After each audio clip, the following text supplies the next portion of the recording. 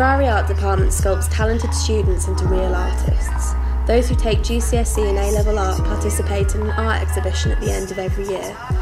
A lot of talent and dedication goes into these exhibitions and now you get to see it.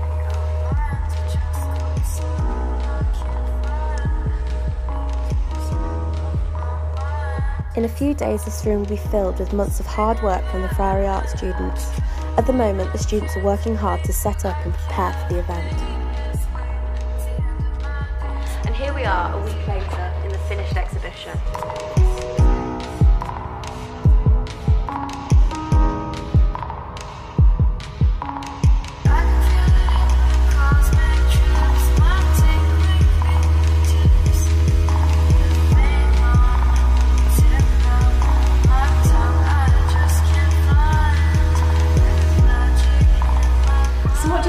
explore when preparing for their exhibition?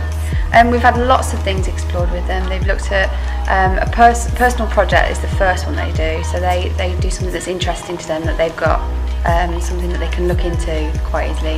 Um, so we've had uh, mixed media, we've had textiles, um, we've had looking at Birmingham and um, our local areas and things like childhood and memories. So how do you prepare for your students for the final exhibition? Um, so for their exhibition, they think about their layout. They pick about they pick their images um, to show their ideas really clearly. So they pick their most successful images and display those, and then larger prints, and we frame them up. Their their final pieces.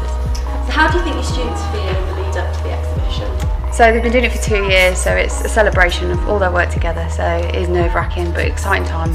And are you proud of the output of the students' work? Yeah, it looks really good. They've worked really hard, and I'm really proud of it.